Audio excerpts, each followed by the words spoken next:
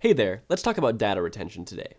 When you surf the web, all your actions and data leave a trace and do not disappear from anywhere. So, where does all this info end up? Well, not always where you'd like it to. Data retention is a persistent data storage by organizations to comply with business needs or legal requirements. For example, an online shop can store all your purchase data for marketing purposes. An internet service provider can monitor your online traffic and track the websites you visit.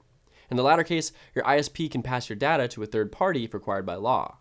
Social networks usually store massive amounts of personal data, which they can also end up sharing with third parties as well. The primary official purpose of data retention is to combat terrorism and crime, but its critics claim that data retention doesn't help that much to prevent it. The thing is, criminals can bypass the surveillance by using anonymous P2P communication systems or the Tor browser. Also, in most cases, the data retention scope is unjustified. Data retention violates our privacy and can be used for surveillance. It also makes corporations that collect data more powerful.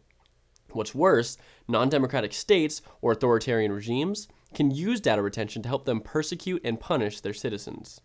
Another problem is that excessive data storage is expensive and requires an extensive server infrastructure. There are constant possibilities for data abuse, third party interventions, data breaches, and leaks. You sure wouldn't want your data to get into the hands of cybercriminals this way. If you wish to secure your privacy, you can reduce the scope of data retention by using a VPN. It encrypts your traffic and no third party can intercept it. Also, you can use the Tor network to maintain your anonymity as it puts your traffic across different nodes, giving you multiple layers of encryption.